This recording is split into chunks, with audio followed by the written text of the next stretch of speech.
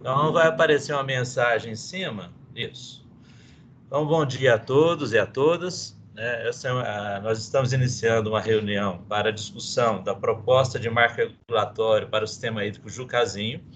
Essa é uma iniciativa da Agência Nacional de Águas, da Agência eh, Pernambucana de Água e Clima e com, articulada com o Comitê da Bacia do Rio Capibaribe. Né? Essa reunião tem por objeto, então, apresentar e discutir com vocês qual será, quais serão as regras, condições e limites de uso da água para que a gente possa é, ter uma solução melhor do ponto de vista regulatório para o uso das águas da bacia do, da, da bacia hidráulica do reservatório Jucazinho, que fica ali próximo a Caruaru, Surubim, né? E, e é muito importante para é, vários usos e para a contenção de enchentes até a cidade de Limoeiro. Então, é, bom dia a todos. Eu gostaria então de passar a palavra à presidente da APAC para suas considerações iniciais. Por favor, Suzana.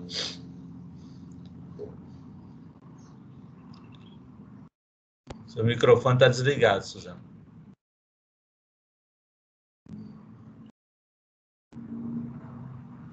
Tem que... O microfone, Suzana, está desligado.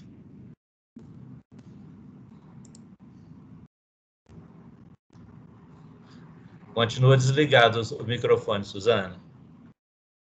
Clique em cima da.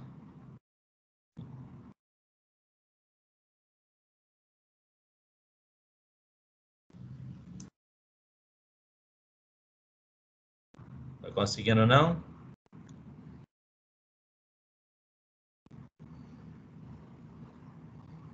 Você tirou a câmera é em cima do microfone. É, deixa eu ver.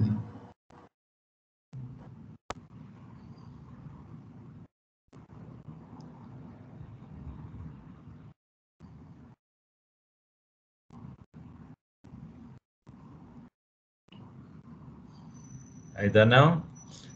Enquanto a Suzana resolve o problema do microfone, eu queria me apresentar. Meu nome é Wilde Cardoso Gontijo Júnior, da Coordenação de Marcos Regulatórios e Alocação de Água, da Agência Nacional de Águas, trabalho na Superintendência de Regulação. Né? Estamos aguardando a Suzana resolver o problema do microfone aqui.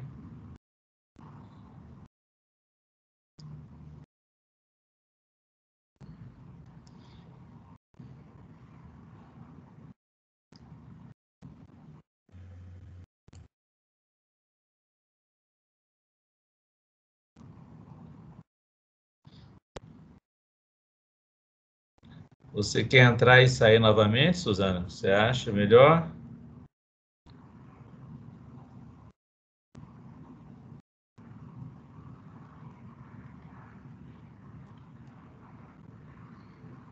Isso. Vamos ver se a Suzana entra novamente.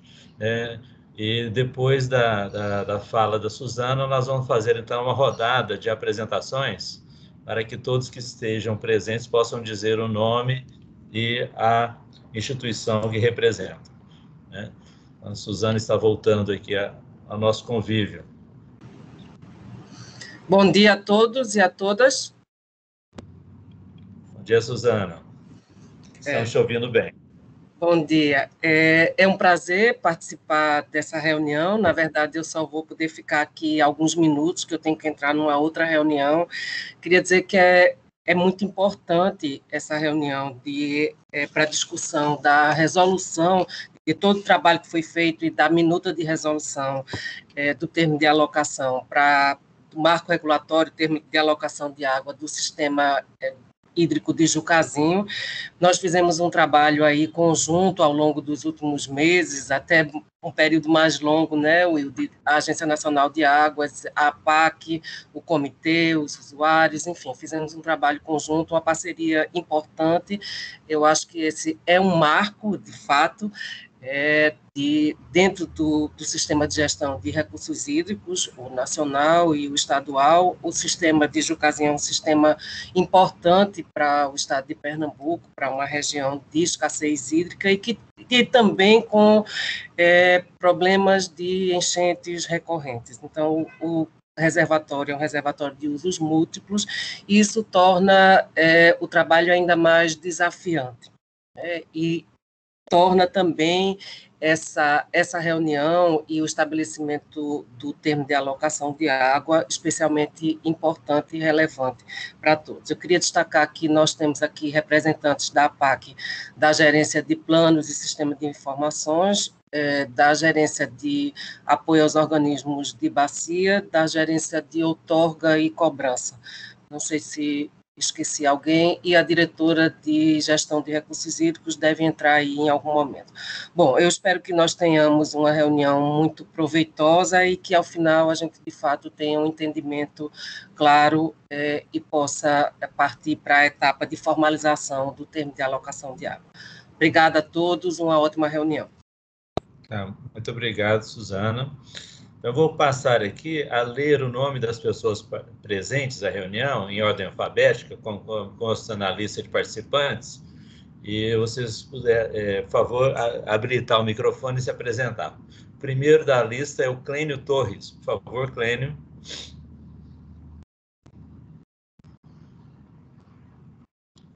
Está me ouvindo, Clênio? Clênio Torres.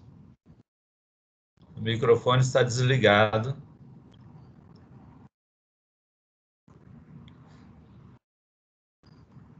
Bom, enquanto o Clênio resolve o problema do microfone, vamos passar para o Edgar.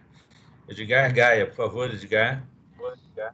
Bom dia a todos, sou Edgar, trabalho na coordenação de marcos regulatórios e alocação de água da Agência Nacional de Águas e Saneamento Básico, junto com o ILD, desde janeiro deste ano. Obrigado, Edgar. Érica Mello.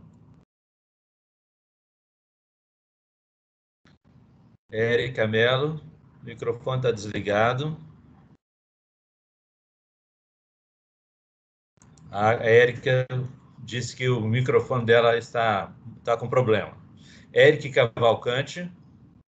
Bom dia, Eric Cavalcante, gerente de planos e sistemas de informação da APAC.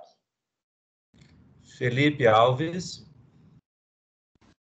Bom dia, Wilde Felipe Alves, gerente de segurança de barragens APAC. Bom dia, Felipe. Flávio, Flávio Coutinho.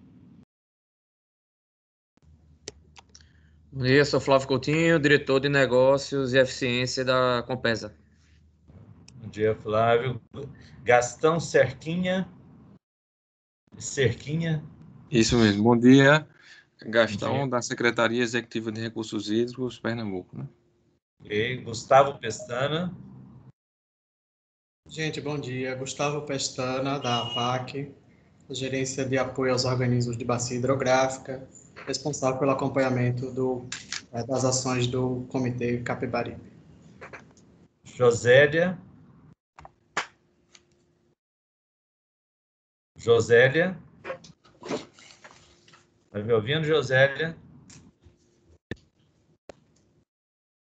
Kátia Távora. Sou Kátia, do Denox, e também faço parte como representante da instituição no Comitê do Capibaribe. É, Lorenza Ferreira. Lorenza.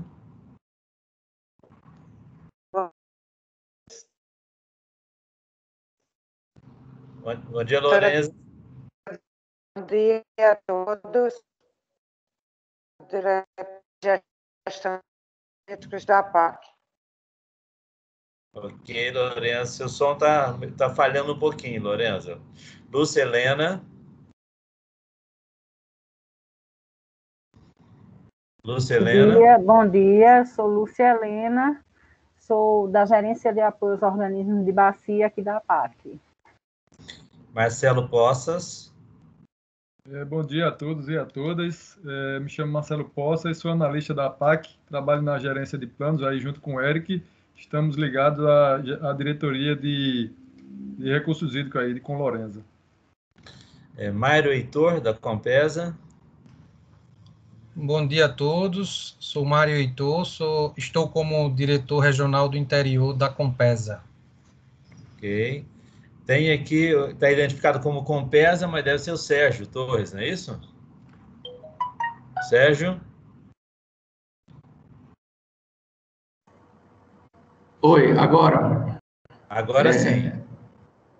É, Sérgio Torres, eu sou consultor da Compesa, estou aqui é, falando diretamente de Caruaru, né, que é a gerência operacional da Compesa responsável pela operação da barragem do sistema Jucazinho, e estou aqui também com Augusto Dantas, que ele é o gerente de, de manutenção e operação dos sistemas produtores do interior da Compesa.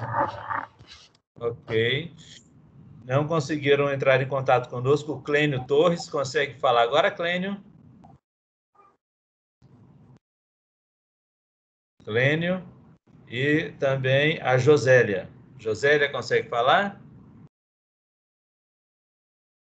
Bom, é, nós estamos aqui, então, iniciando essa reunião. Aquelas pessoas que não se apresentaram e quiserem interromper, por favor, é só levantar a mão ou então é, fazer com que a gente é, saiba, ligando o microfone.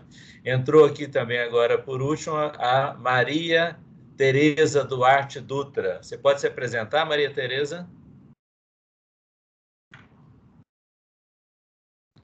Seu microfone está desligado, Maria Tereza. Bom dia a todos. É, eu sou representante no Conselho Estadual de Recursos de Pernambuco pelo IFPE e sou membro do Comitê do Capibaribe. Ah, muito obrigado pela presença, Maria. Bom, então nós estamos então é, aqui com um grupo de 18 pessoas, né? E eu queria só registrar que foram encaminhados convites a todos os membros do Comitê da Bacia do Rio Capibaribe. Também foram encaminhados convites a todas as prefeituras da região, né? E é, acho que os demais, diríamos, interessados estão aqui presentes, né? Então, nós vamos, conforme é acordado, nós vamos é, fazer com que essa reunião tenha três momentos distintos. O primeiro momento seria a contextualização da, do objetivo da reunião e principalmente com relação aos problemas que nós temos tido em Jucazinho com relação ao uso das águas. Esse é o primeiro momento da, da reunião, em que faremos uma apresentação e, após a apresentação, vamos abrir para debate. O segundo momento vai ser a apresentação conceitual da solução que está sendo proposta. E nós, após a apresentação dessa, dessa proposta de solução, nós também abriremos para debate e, por fim, no terceiro, é, terceiro momento da reunião, nós é, passaremos aqui a ouvir comentários sobre o texto da minuta e caso vocês tenham alguma questão, nós abriremos a minuta da resolução para poder também avaliar conjuntamente algum aspecto é, com relação ao texto especificamente dessa resolução conjunta ANA-APAC. Então, eu, eu, eu, vou iniciar, então, a apresentação né, é, da, dessa primeira etapa, ok? Vocês podem me confirmar se estão vendo o slide aí? Alguém pode me confirmar? Ok. okay. Obrigado. Muito obrigado. Ok, ok. Ok. Vamos, vamos lá. É, como nós é, está explicitado no convite, trata-se aqui de uma discussão sobre um marco regulatório para o sistema hídrico Jucazinho. É importante inicialmente destacar o que, que significa essa palavra marco regulatório para que a gente possa diferenciar essa reunião das reuniões que nós temos feito aí em Pernambuco com relação à alocação de água. Essa reunião não é para fazer alocação de água, mas para discutir um normativo que vai definir condições, limites e regras de uso da água para as águas acumuladas no reservatório Jucazinho e essa orientação ela é fundamental para que a gente estabeleça um novo marco, uma nova, uma nova forma de outorgar, de fiscalizar, de gerenciar, de operar o reservatório Jucazinho. Então, são essas as condições objetivas dessa reunião, discutir esse normativo, né, que, diferente das reuniões de alocação de água, ela não é uma reunião que vai terminar um processo de tomada de decisão sobre a alocação de água, mas sobre qual o entendimento de todos sobre esse novo normativo regulatório. É, esse normativo se insere dentro da agenda regulatória da Agência Nacional de Águas e Saneamento Básico, que está é, prevista aí na, na, no eixo temático regulação de uso e operação de reservatórios, é, especificamente para os sistemas hídricos locais. É, só essa outra definição. Né? Nós temos trabalhado já há algum tempo com duas unidades de gerenciamento de recursos hídricos, a bacia hidrográfica e os sistemas hídricos locais. Esses sistemas hídricos locais podem contemplar a bacia como um todo ou parte dela. No caso específico, nós estamos trabalhando aqui somente com o reservatório de Jucazinho, e esse reservatório é o que nós nomeamos o Sistema Hídrico Local Jucazinho.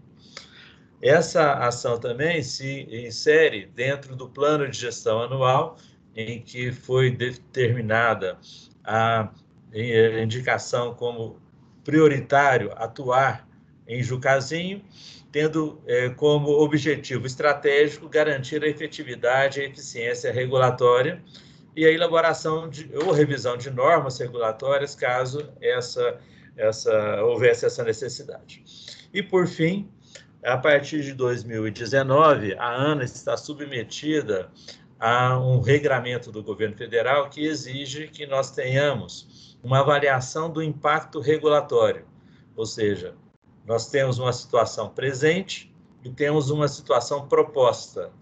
Essa situação proposta tem que mostrar que traz benefícios para a sociedade é, ou que traz impactos mínimos negativos à sociedade. Então, tendo em vista essa, essa, esse novo normativo, é, vocês tiveram acesso aí a uma nota técnica que faz essa avaliação do impacto regulatório e essa também faz parte desse normativo que essa nota técnica e essa proposta seja submetida ao escrutínio público. E no caso é essa reunião por, por videoconferência, em função das restrições que temos aí de aglomeração de pessoas, mas que, por outro lado, tem proporcionado que pessoas que tenham é, estejam em diferentes locais possam também estar presentes aqui para é, a discussão. Então, esse é o contexto geral. Né?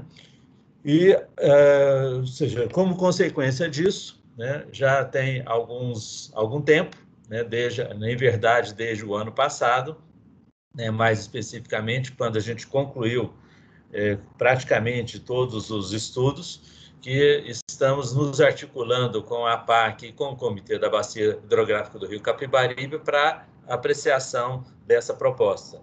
O ano passado, essa discussão chegou a ser agendada junto ao Comitê de Bacia, mas em função da, da mudança desses normativos, nós tivemos que cancelar a nossa é, participação né, junto com o comitê e, e, estamos praticamente há um ano dessa data, ou seja, é, nesse período a proposta chegou até a ser aprimorada e hoje estamos aqui cumprindo é, o que determina esse artigo 17 da resolução ANA número 19 de, de 2020, que aprova esse regulamento para a realização de consultas públicas, audiências públicas e outras formas de participação.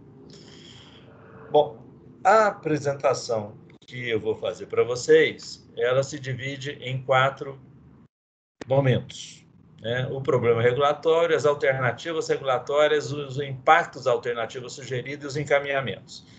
Nessa, nessa primeira etapa, nós vamos nos ater ao problema regulatório. É, então, para ficar claro para todos, nós trouxemos aqui um mapa em que está explicitado em cor laranja o reservatório Jucazinho, né, que interrompe é, o que barra parte das águas do rio Capibaribe, né, logo a montante da cidade de Salgadinho e da cidade de Limoeiro, localizado aqui nos municípios de Frei Miguelinho, é, Ria, Ria, Riacão das Almas, é, Surubim, Cumaru que, que, que, fazem parte ali do sistema, e mais para baixo ainda temos Passira, João é, Passira e Limoeiro, que são os municípios é, é, lindeiros do, do, do, Rio Capibaribe, nessa região. Então, esse sistema né, localizado nessa fase intermediária entre o Agreste e já mais próximo aqui da, da entrada e do sertão, né, mas ainda no Agreste, né, ele é fundamental para, para os seguintes atores relevantes. O Denox, que foi o construtor da obra, né, a Compesa, que se constitui a companhia pernambucana de, de, de, é responsável pelo abastecimento de água e que é a maior usuária desse sistema, né, a, a, atores relevantes ainda a APAC, que é a reguladora, a agência reguladora do uso das águas do rio Capibaribe, né, a CEINFRA, Secretaria de Infraestrutura de Pernambuco, que também tem ações relevantes aí no rio Capibaribe, dentre elas a questão da contenção de enchentes da, da Grande Recife, o Comitê da Bacia do Rio Capibaribe, o Ministério da Agricultura, é, onde nós temos a Secretaria de Pesca também, uma potencial usuária por intermédio dos sistemas é, de implantação de tanques rede, os municípios né, e usuários no entorno, né, que apesar de poucos ainda se constituem uma parte é, beneficiária desse sistema. O primeiro problema que nós é, que nos moveu no sentido de estudar essa questão do Jucazinho foi a, o que nós chamamos de vazão regularizada, e aqui a gente vai tratar especificamente da vazão regularizada com 95% de garantia. Há vários estudos é, feitos aí para essa região é, com relação à vazão regularizada. E essa vazão regularizada, nós temos estudos que é, apontam valores entre 2 mil até 4 mil litros por segundo, ou seja, uma faixa extremamente larga, né, oriunda de diversos estudos diferentes. O último estudo que a Ana fez, é, ele apontava que nós teríamos uma vazão outorgável com 95% de garantia próximo de 2.540 litros por segundo, razão pela qual a Ana é, utilizou nos últimos anos essa vazão de 2.540 litros por segundo como potencial outorgável desse sistema. Esse potencial outorgável, no entanto, como vocês sabem, ele é, é e essa vazão regularizada, é, ela é afetada diretamente pela, pelo regime de chuvas, pelas, pelas reservações ou usos a montante, pela precipitar, pela, pela evapotranspiração, né? e também pela capacidade de acumulação do reservatório. Então, em 2017, a ANA fez um estudo batimétrico, que depois foi checado por algumas fontes, dentre elas aquele estudo, o levantamento é, topográfico feito pelo Estado de Pernambuco, chamado PE3D, e foi-se observado que o volume inicial, que norteou, inclusive, a elaboração desses estudos de vazão regularizada, de 327 milhões de metros cúbicos, em verdade, não se referia à cota de soleira do vertedouro. Tá? Então, quando considerada essa cota de soleiro do vertedouro, cota de soleira do vertedouro, Tá? O volume efetivamente reconhecido é de que o reservatório Jucazinho não tem mais do que 204 milhões de metros cúbicos. Essa situação interfere diretamente, como você sabe, na vazão regularizada, né, com as diversas garantias, e, consequentemente, nós temos aqui o primeiro problema regulatório, que é exatamente estabelecer uma nova vazão outorgável que pudesse ser, dar mais garantia aos usos das águas do Jucazinho. É, para que isso fosse feito, além dessa, desse reconhecimento do novo volume, também se elaborou uma nova série de vazões afluentes, já incorporando, inclusive, os períodos mais secos recentes, uma série de 1961 a 2018, considerando exclusivamente as estações precipitométricas, a montante do reservatório Jucazinho. Bom, com essas informações e as informações de uso que nós tínhamos é, da, da, do, do nós pudemos, então, fazer uma simulação de qual seria o comportamento do reservatório caso é, essa vazão otorgável de 2.540 litros por segundo, até então praticada pela ANA, é, continuasse ocorrendo. E esse gráfico que está aí na tela do lado esquerdo mostra para vocês é, uma simulação dessas desde 1961 até 2018, evidenciando pela, é, com, pelo comportamento do volume acumulado que nós teríamos colapso total em diversos períodos nesse histórico, notadamente no período entre 88 e 93, e depois 97, 2001, 2002, e mais presentemente a partir de 2014. Tá? Essa informação, ela mostra para nós duas coisas. Primeiro, que essa vazão é, afluente, de certa forma, corresponde com aquilo que foi observado em várias regiões aí de Pernambuco, ou seja, de crises é, fortes de água nesses períodos indicados, né? e segundo, de que, é, considerando essa vazão de 2.400 litros por segundo, a possibilidade de colapso do sistema Jucazinho era muito grande. Situação totalmente inco incoerente com mananciais que são destinados a abastecimento público, onde nós precisamos ter uma garantia maior para o funcionamento do sistema. Então, esse é o primeiro grande problema.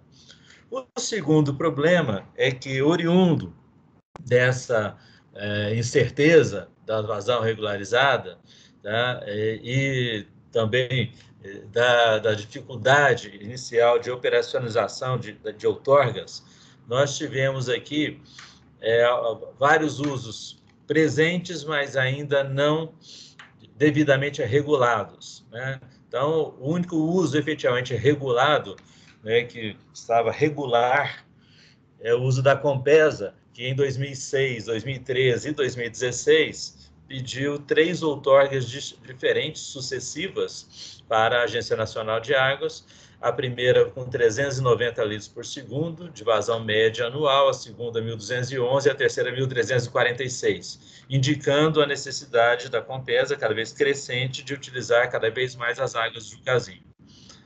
Por, é, por sua vez, é, os projetos de aquicultura, né, que passaram a ser objeto do, desse sistema, também eles passaram a requerer autorização para essa é, utilização.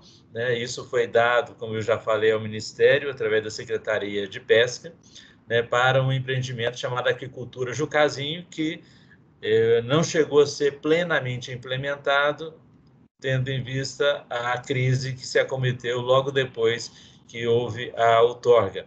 E a outorga desse empreendimento está vencida.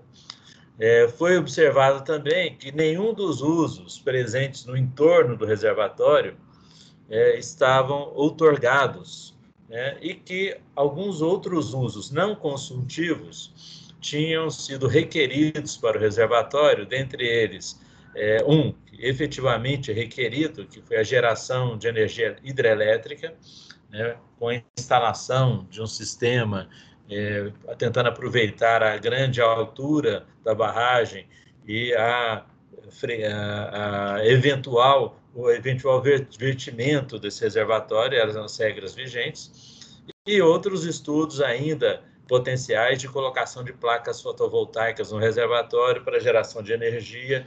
É, isso também é, viu-se que não havia regras para que essas finalidades fossem implantadas. Por fim, também nós não temos nenhum normativo vigente que defina vazões a serem garantidas a jusante, ajudando na perenização do rio Capibaribe, notavelmente após o barramento. Isso pode ser exemplificado de forma, o problema pode ser exemplificado nesse gráfico que nós tivemos a colaboração aí da Compesa, para a gente ver que existe a necessidade de uma, de um maior é, controle com relação à outorga.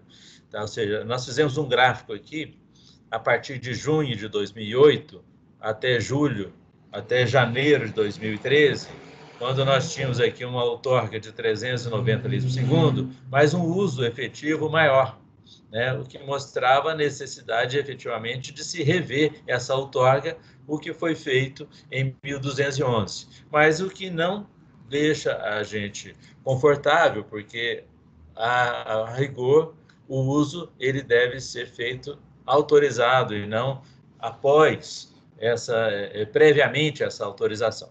Então havia aqui um descompasso entre o valor da outorga e o que foi praticado no primeiro período.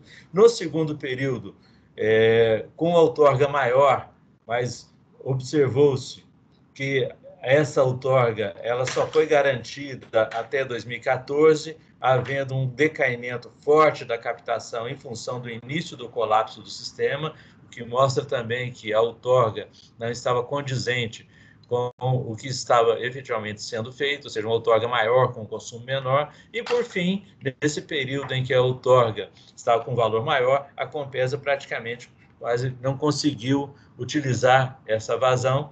Então, há aqui um descompasso que para nós é um grande problema. Se você tem uma outorga com a garantia tão ruim né, como essa, mostra que há necessidade de revisão nesses critérios de outorga. O terceiro ponto, né, que chamamos também como problema de relativo à qualidade da água, né, e que em vistorias é, locais podem ser observados, ela está representado aqui não por esse pé horroroso que está aqui no canto direito, mas por essa estrutura que foi colocada lá embaixo. Essa é uma foto tirada a partir da parte superior da barragem, quando o reservatório estava seco, e nós tínhamos aqui a intenção de mostrar essa estrutura que estava conectada na tomada d'água na cota mais baixa lá do reservatório, em que estão interligados tubos que levam a um sistema flutuante e com qual objetivo? O objetivo de fazer a captação da água não no fundo, conforme foi projetado, mas para fazer a captação superficial da água né, numa forte indicação de que a qualidade da água na parte superior do reservatório tem uma qualidade melhor do que na parte inferior, o que é esperado por todos, isso é praticamente instintivo. Mas o que é, leva também a uma indicação forte de que essas eventuais concentrações de manganês e de ferro na água, né, essas indicações, elas podem ser evidenciadas ali no ataque às ferragens nas estruturas. Quem teve a oportunidade de visitar Jucazinho nos últimos anos, pôde verificar o que, que aconteceu com a ferragem de todas as estruturas que foram armadas. Né? Nós aí nós temos, felizmente, como foi um reservatório feito com o método CCR, né? de concreto compactado, então nós temos pouca ferragem na estrutura principal, mas em todos os locais que tinha ferragem, essas ferragens foram atacadas de uma forma extremamente agressiva, o que leva a crer que há também aí uma interferência forte da água, da qualidade da água nesse processo. Então, qual que é o objetivo? Fazer com que essa, diríamos, qualidade da água potencialmente ruim ela possa é, ser é, minimizada para os usos que se fazem lá no reservatório. É, por fim, os usos não consultivos. Né? Nós temos aqui do lado esquerdo uma, um, um gráfico mostrando uma figura em verde, amarelo e vermelho, que você já sabe que é a proposta de estados hidrológicos, e que nós temos aqui a cota mínima do reservatório na tomada d'água, que é a cota 252. Então, a partir do momento em que nós temos essa cota mínima, a orientação para a colocação de tanques rede lá na, pela ANA é de que se utilize essa cota mínima como a área de potencial uso desses tanques rede. Isso faz com que nós tenhamos uma área muito baixa, uma cota muito baixa, provavelmente uma água já ruim, e que pode ser potencializada essa piora dessa água em função da implantação de tanques rede, que todos, todos nós sabemos, o principal efeito é fazer com que a água, é, o OD da água seja reduzido ou aumente o DBO. Né? Então, nós temos esse desafio de tentar estabelecer uma cota mais adequada, justamente para evitar que essa atividade de aquicultura possa interferir fortemente nas captações. E, por fim, a questão da geração hidrelétrica e placas fotovoltaicas. A geração hidrelétrica, porque hoje os critérios utilizados pra, pela ANA era de que a geração só poderia ser implantada por um eventual vertimento, né? E essa é uma, uma amarra que nos pareceu muito ruim para o sistema, uma vez que ele já conta com uma, uma captação né, a jusante é, notavelmente para a Compesa, e que pode ser que houvesse algum interesse econômico né, a explorar essa, é, essa altura e essa vazão praticamente firme de captação da, da Compesa, então achamos por bem fazer com que essa, é essa restrição somente por vertimento não fosse, é, ela fosse revista. Né? E, por fim, placas fotovoltaicas. É, não sei se vocês estão acompanhando, mas há um grande movimento no país pela implantação de placas fotovoltaicas em áreas secas e em áreas úmidas. Nós estamos iniciando um processo, principalmente aqui na ANA e no Ministério, de incentivar a utilização dos espelhos d'água, áreas já é, antropicamente é, impactadas, para que possamos implantar placas fotovoltaicas nesses ambientes é, e assim preservando áreas virgens que poderiam servir a outros usos mais nobres.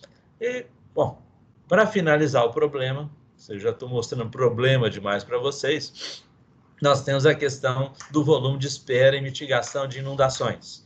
Né? Ah, nesse, nesse quadro em cima, à direita, nós temos aqui as principais barragens do sistema de proteção de Recife, né? começando de Jusante para Montante, aqui é a barragem de Goitá, a barragem do Tapacurá, a barragem do Carpina, né? e no trecho em que nós estamos mais afetos, a barragem de Jucazinho e a barragem Poço Fundo, que fica a montante de Jucazinho.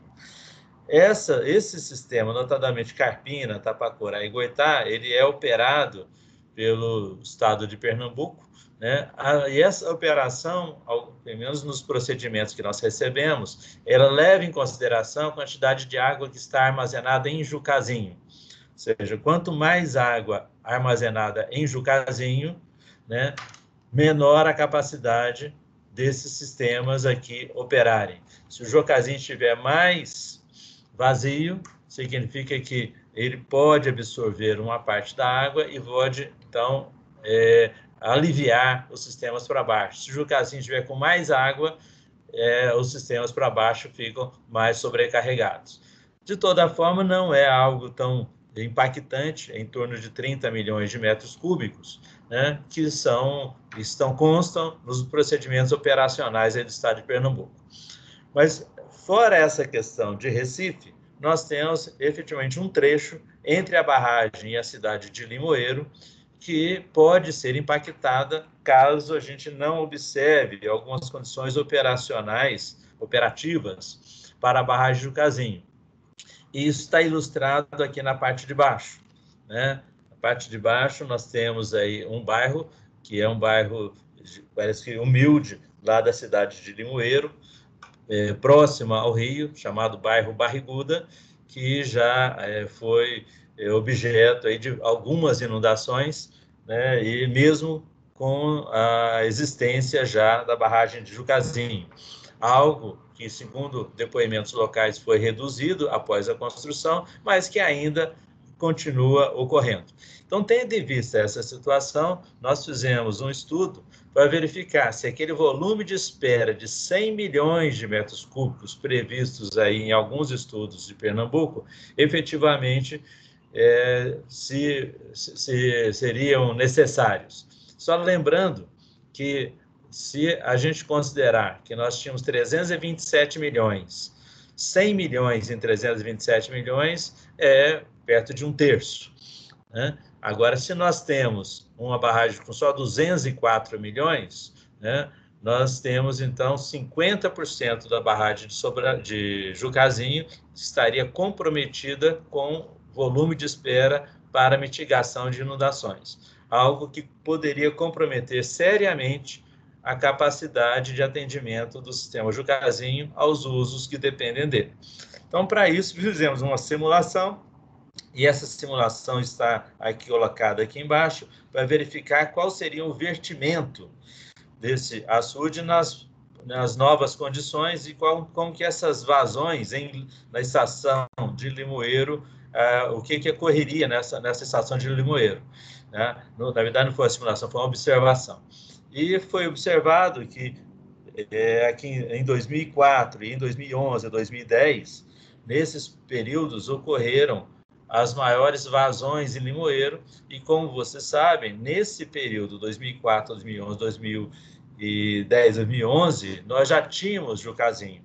Então, isso mostra, se você pegar as observações anteriores e essa aqui, que o efeito de Jucazinho parece não, que não se fez sentir nessa mitigação, o que pode ser objeto de duas coisas. Ou um problema operacional, no reservatório, que ele não foi operado e teve que, ao contrário, soltar água muito rapidamente, ou uma vazão que não é oriunda de Jucazinho, mas da parte ajusante de Jucazinho, o que faz com que a situação, Jucazinho não tenha muita interferência. De toda forma, fazendo a simulação para diferentes volumes de espera, ou seja, nós teríamos, um, se a gente tiver um volume de espera de zero, ou 25 milhões, ou 50 milhões, ou 600, ou 100 milhões.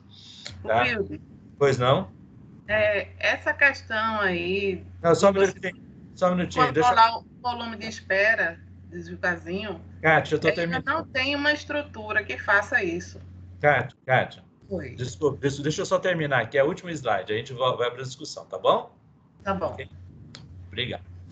Então, assim, então, qual que é a questão relativa à inundação? Se nós considerarmos que nós temos volume de espera de zero, ou de 25, ou de 50, ou de 100 milhões, volume concentrado no período de chuvas, de abril a junho, e estabelecendo uma vazão de segurança de 600 metros cúbicos por segundo na cidade de Limoeiro, nós notamos aqui que o percentual de segurança, ou seja, a diferença entre a utilização de zero ou de 100, ela é muito pequena. Praticamente, nós temos aqui uma, um, um grau de interferência de Jucazinho nessas defluências abaixo muito pequeno.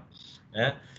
É, a única coisa que Jucazinho interfere mais é a redução da amplitude dessa vazão, que com 100 milhões nós temos uma amplitude menor do que com zero. No entanto, há um outro complicador. É, o mês de maior vertimento já observado no reservatório Jucazinho não ocorreu no período chuvoso, foi de fevereiro em fevereiro de 2004. O que mostra também um outro complicador, que é o comportamento das chuvas nessa região, que podem efetivamente ser bastante é, erráticos, fazendo com que um período que não está prevista uma grande acumulação de água, nós tivéssemos um maior vertimento. Então, essas questões é, são, diríamos, os grandes problemas nossos, daí porque eu, eu, eu pedi para interromper a Kátia, né, porque nós temos esses problemas. E é, essas, é, ou seja, para solucionar essas questões todas, nós precisamos, então, ter mecanismos mais adequados. Espero ter sido assim. Tentei ser rápido, sei que não fui, né? mas eu acho que agora a gente tem um momento de debate. Eu estou vendo aqui que nós já temos a Kátia e o Sérgio é, inscritos. Eu vou passar então primeiro para a Kátia e depois para o Sérgio. Por favor, Kátia. É, essa questão de Jucazinho, embora um dos objetivos dele fosse é, a contenção de cheias, né? Seria uma barragem. Ele não foi construído com uma estrutura para isso. Então, não existe a condição de você, de forma rápida, é, é, manter numa, vamos dizer, nessa, nessa, nesse volume de espera, de espera vamos dizer, de, 5, de 100 milhões de metros cúbicos, porque a única saída é o obturador, né? Que me parece, não me falha a memória, é, a vazão dele é muito pequena, não sei se chega a 60 litros por segundo, então é insuficiente para qualquer esvaziamento nesse sentido. Então, havendo, havendo, vamos dizer, um aporte de água né, com, com uma vazão alta, a gente não consegue controlar para se manter esse, esse nível de regime de espera diferentemente do que acontece na barragem do Carpina. Né? Então, essa questão aí tem que ser observada nesse sentido. Ok, obrigado. Só é, complementando, Kátia, na verdade a, a, descarga é 60 metros cúbicos por segundo, é o máximo que tem. O máximo que se consegue isso se o reservatório estiver lá em cima, cheio, né? Ok. É, Sérgio, por favor. Wilde, é, são dois, dois, pontos que eu queria é, salientar. O primeiro, com relação àquela outorga de 390 litros por segundo, na realidade, é, no pedido de outorga, a gente pediu em torno de 1.400 litros por segundo.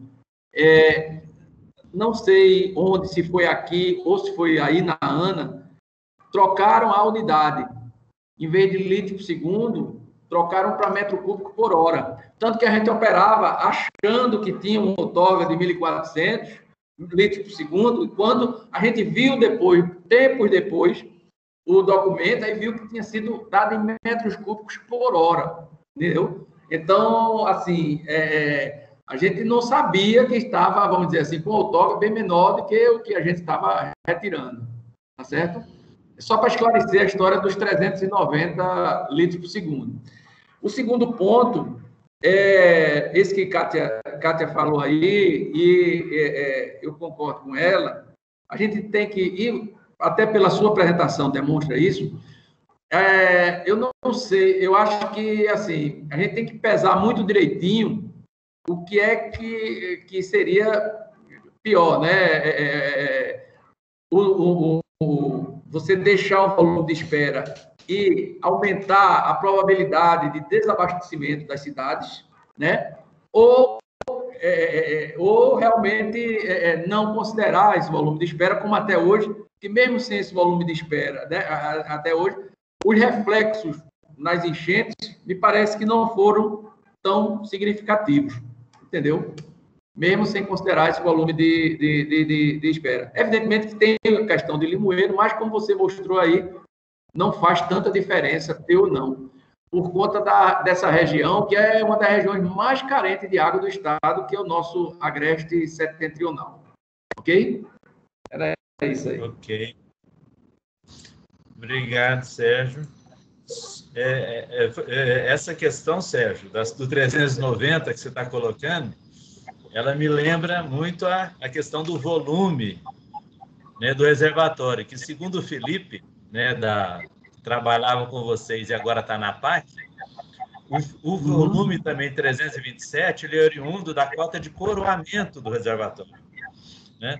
Então, nós uhum. estamos vendo o seguinte, minimamente, esse processo está servindo para a gente poder identificar os pequenos errinhos para poder fazer esses ajustes, né? Então, essa questão da, da outorga, eu também não sabia disso. Né? Então, foi bom você ter é. falado.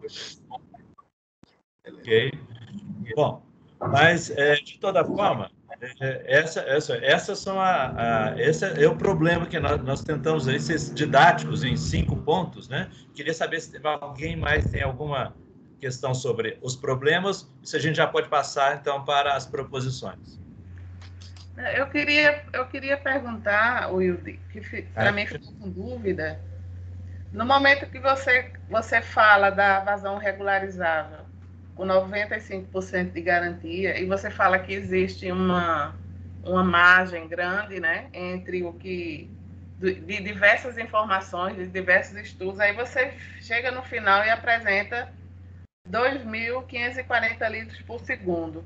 Aí você fala, embora e após 2017, como foi feita a nova batimetria, é, isso aí é, interferiria na, na, na vazão otorgável.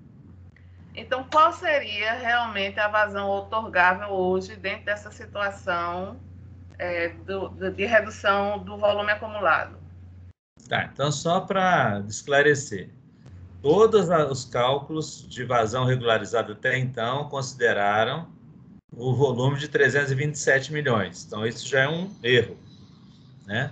O segundo é que nós temos um problema de monitoramento a montante e faz com que nos obrigue a utilizar sempre é, modelo chuva-vazão, ou seja, eu interpreto a vazão em função da quantidade de chuva observada. E isso, dependendo do modelo hidrológico que você utiliza, isso pode gerar diferentes valores. Então, nós tínhamos uma incerteza para isso. Qual que é o valor a ser utilizado? Você está me parecendo aquela pessoa que começou o livro e já está querendo ir lá para a última página. Já lê, já está querendo saber se o, se o, se o, o bandido, o mocinho matou o bandido. Então, no, no próximo capítulo, a gente responde. Vamos passar aqui, então, na, na ordem, para o Gastão e depois o Mário Heitor. É, Wilde, é, uma dúvida que surgiu vendo a questão de, das variações das vazões de 1817, que chegaram a 1.993 metros cúbicos quando considerou 0%, não foi de volume ali de espera. Eu queria saber se houve assim uma análise da frequência dessas vazões máximas porque tem a ocorrência de chuvas consecutivas, né? Então pode ser que as primeiras chuvas em que ocorriam, poderiam ocorrer essas vazões máximas, foram retardadas em, em função desse volume de espera, e, e em seguida é, é, essas vazões elas passaram pelo barramento, gerando essas vazões máximas. Então, houve essa, essa verificação na frequência dessas vazões máximas, porque pode ser que o volume de espera ele consiga retardar consiga diminuir essa frequência é, para essas primeiras chuvas. É, talvez eu tenha passado rápido, Gastão, mas naqueles, na hora que eu pus percentual de segurança, ali é exatamente a frequência, tá? Uhum. Então, nós tínhamos ali, é, ou seja, a segurança seria o inverso do risco, né? O inverso do risco, tá? Então, é, como, só para você ver como que nós fizemos isso e como isso ainda é um cálculo preliminar, Motivo pelo qual nós achamos que isso tem que ser melhor estudado e a gente não fechou a questão. Tá? Primeiro, esses volumes acumulados foram calculados com vazões médias mensais. Então, esse já é um problema. Concorda? Né? Então, vazões médias mensais. Nós sabemos que as inundações acontecem em poucos dias. Tá? Então, para minimizar esse erro, o que, é que nós fizemos? Nós fizemos um cálculo de volumes acumulados e vertimentos mensais e estabelecemos um período de dois a cinco dias para o que aquele vertimento ocorresse. Consequentemente, nós calculamos essa vazão em função desse volume vertido nesse período de dois a cinco dias. Ok? Tá? Então, esse é um cálculo aproximado né? porque a gente precisa melhor referendar, e mas que nos dê uma boa e convergente ideia dessas, desses vertimentos, que eu mostrei. Se você tem um volume zero, você tem um pico de vazão maior. Se você tem um volume de 100 milhões, um pico menor, que é, ou seja, o cálculo mostra que está convergindo com o senso comum. Né? Mas qual que é efetivamente essa, esse comportamento é, utilizando vazões médias diárias, nós não fizemos esse estudo e esse aprimoramento tem que ser feito justamente para poder ter mais é, precisão, né? Ou seja, o sentimento, Gastão, é de que Jucazinho faz pouquíssima diferença, até porque ele está numa região de transição. Pode chover tudo para baixo de, de, de, de Jucazinho e não chover nada para cima. Entendeu? Então, ou seja, a inundação vai ocorrer. Então, a priori, o mais importante para mim é um negócio chamado PAI, que é o que o, que o, a, o Denox fez, é o Plano de Ações Emergenciais, que podem requerer, por exemplo, uma relocação de populações que estão em regiões vulneráveis para que essas populações estejam ocupando áreas mais seguras e, consequentemente, estarem menos sujeitas à inundação. Então, assim, ações que não dependem efetivamente de Jucazinho pode ser que sejam mais interessantes do que reservar água e, como disse o Sérgio, né, você comprometer o manancial com um volume absurdo que vai ter uma consequência pequena com a frequência muito baixa também. Ok? Tá? Ok, obrigado. Mário Heitor, por favor. Oi, bom dia novamente. É, sem, sem, querer me adiantar também com relação à vazão regularizada, mas é um ponto aqui que a gente que preocupa um pouco. Até porque, coincidentemente, eu já fui gerente de 2014 até o início desse ano de quase todas as cidades que são abastecidas por Jucazinho. Isso é um conflito local que imagine, imagine a gente hoje retirando em torno está com possibilidade de retirada agora de 700 litros por segundo, tem cidade que recebe água uma vez por mês, entendeu? São cidades que têm Jucazinho como manancial exclusivo, não tem outra opção de abastecimento. Isso é algo que a gente tem que destacar também, que pode gerar um conflito. É algo só para a gente conversar mais, se a gente se adentrar mais, porque eu senti, desde 2014, Jucazinho com água, colapso, e retomada agora de abastecimento, eu estou sentindo tudo, né? Assim, na operação, na ponta de rede, como é o caso de Toritama. Toritama tem, tem é, localidades que só recebe água uma vez a cada dois meses, para você ter uma ideia. Entendeu? Com essa retirada que a gente está agora de 720 litros por segundo.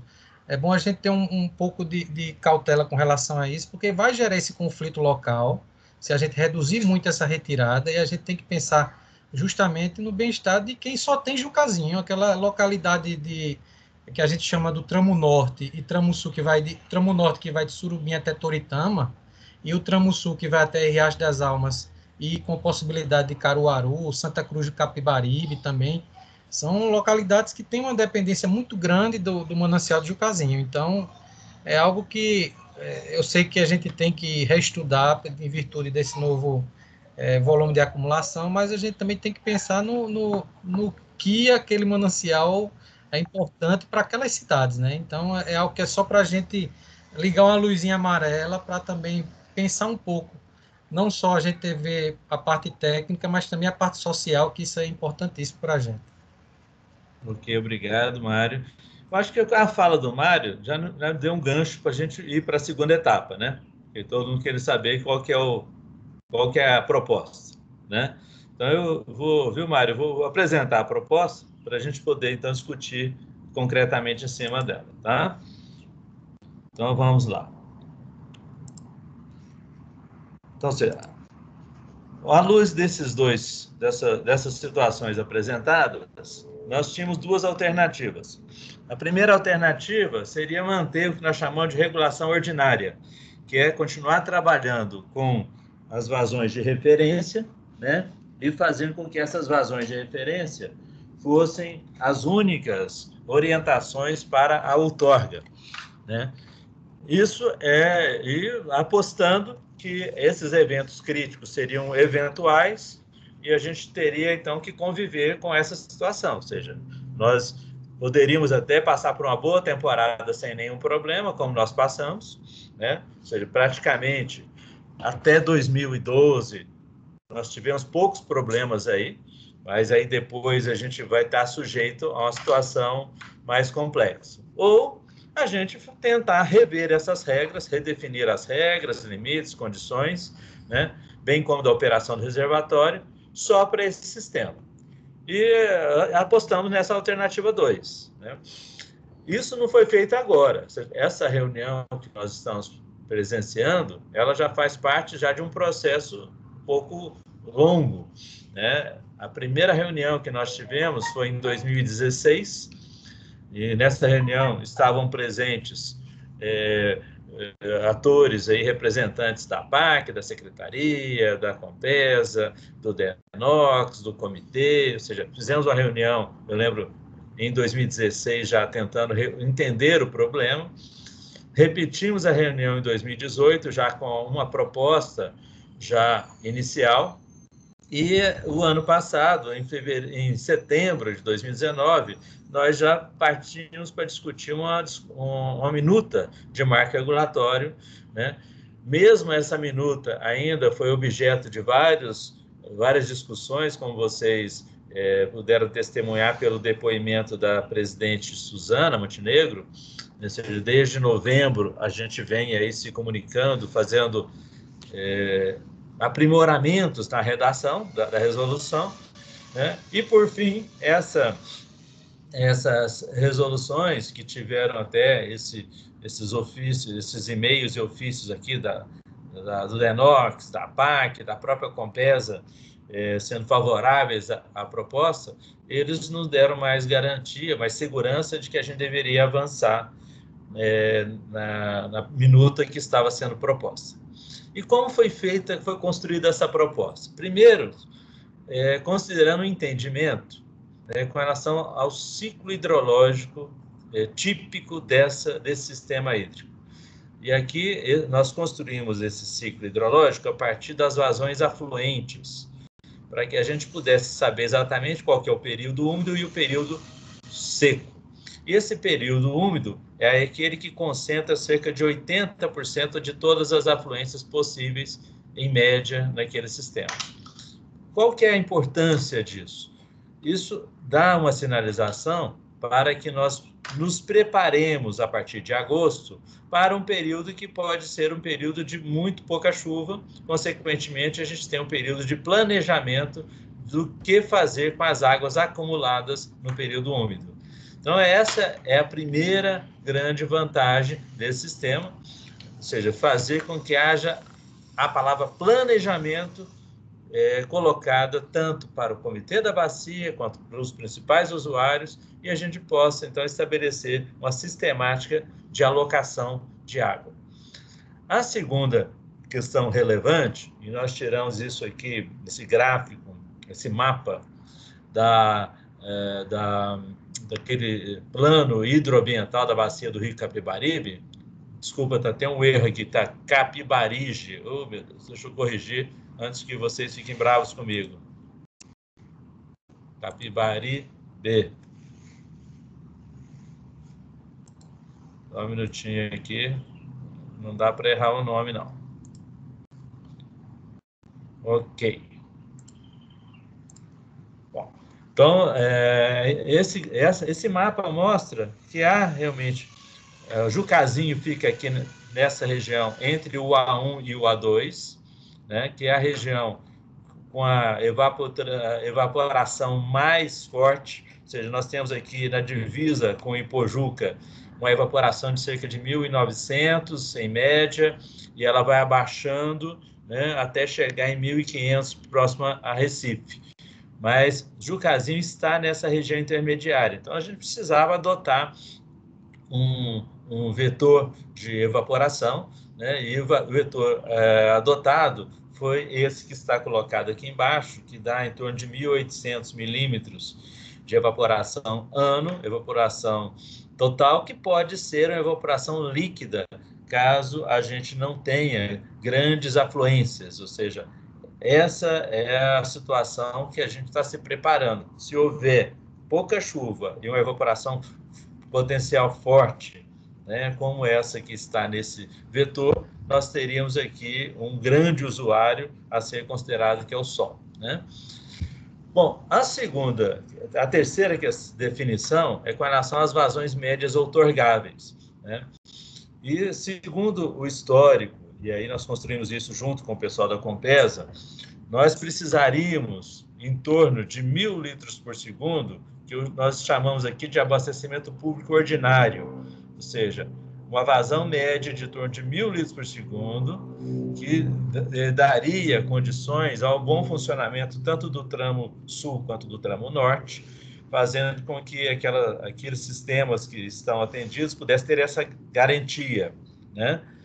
Essa garantia pode ser, é, ela é maior do que essa garantia de baixo, ou seja, aqui nós colocamos um abastecimento público eventual, porque de março a julho. Como nós sabemos, esse é o período de chuvas. Então, o que se imaginou? De que em algum período em que o açude estivesse mais cheio, nós poderíamos liberar uma quantidade maior de água para a Compesa, até para poder suprir eventual problema em outro manancial, uma vez que a Compesa nos informou que Jucazinho faz parte de uma série de mananciais que, em algumas situações, estão interligadas para atender várias comunidades. Então, esses 500 litros por segundo numa situação de conforto hídrico, ele teria dois efeitos positivos. Primeiro, suprir eventual déficit em outro manancial. Segundo, apesar de pequeno, ser também uma forma de você é, abaixar um pouquinho o volume armazenado, caso ele esteja muito alto, o que permitiria também um, uma melhora, uma certa, melhora é, na, no, na finalidade de é, mitigação de enchentes a jusante. Pouca coisa, mas poderia também servir para isso. Bom, esses usos aqui, como vocês veem, eles são praticamente quase todos os usos consultivos no reservatório.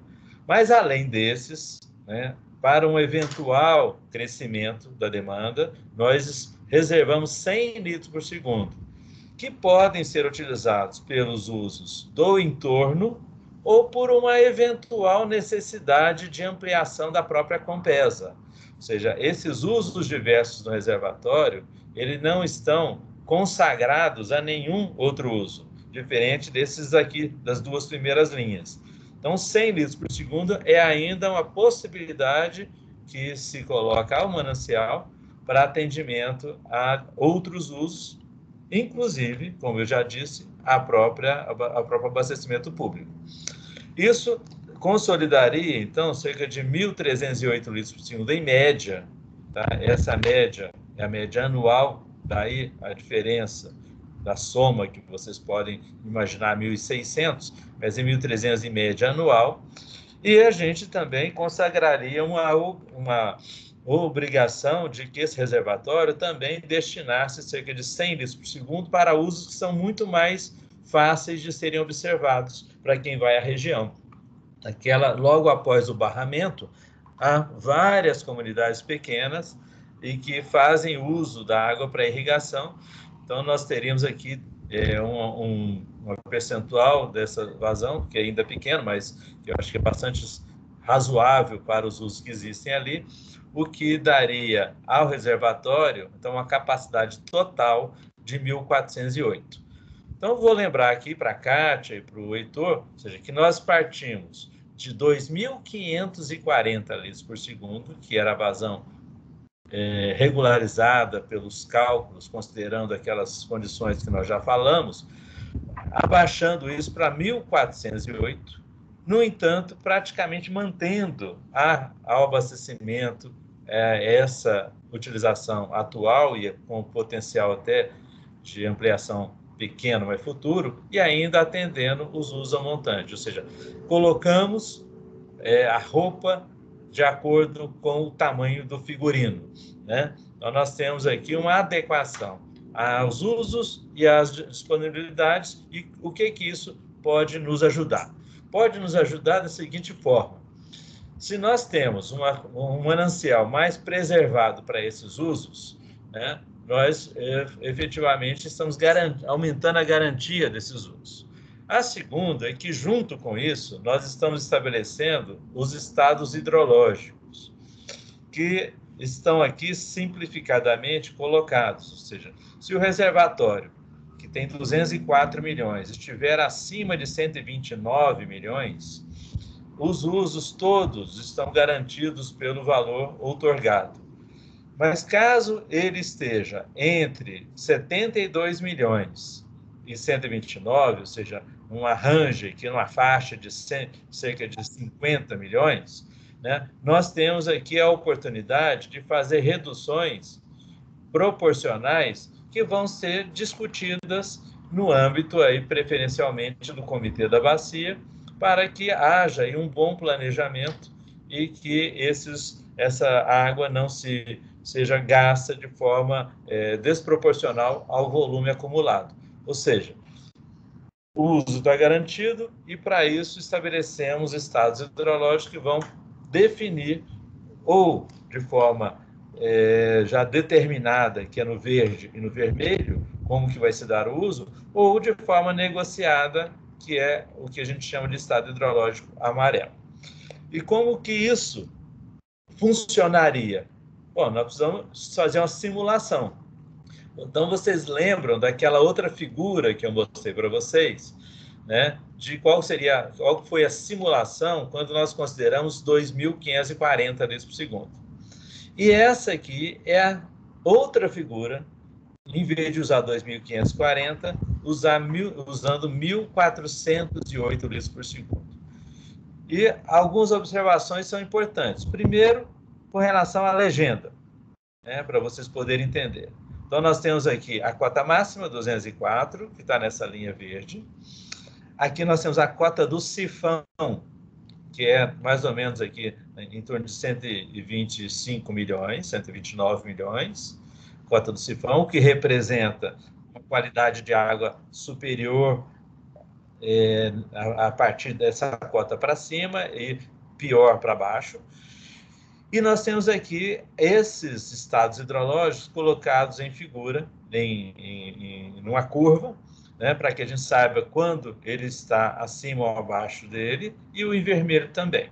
E por fim, nós temos aqui uma outra cota em vermelho, que seria a nova mínima cota do reservatório. Ou seja, nós estamos reduzindo a quantidade de outorgas, mas ao mesmo tempo estamos aumentando a cota mínima, fazendo com que a gente tenha alguns ganhos que a gente vai mostrar para vocês quais são. Tá? A outra observação é com relação ao comportamento. Como vocês podem ver, se isso aqui tivesse acontecido nesse período de 61 a 2018, praticamente, utilizando 1.408 litros por segundo, quase todo o tempo, o reservatório estaria acima da cota do sifão. Aí, em alguns momentos, ele estaria mais para baixo, mas em nenhum momento, até 2000 e, e 2016, ele teria é, sido inferior a essa cota mínima. Em 2016, né, ou seja, a gente poderia utilizar um mecanismo que está aqui nesse marco regulatório, que é da restrição negociada. E ao fazer isso, nós teríamos uma, um outro comportamento.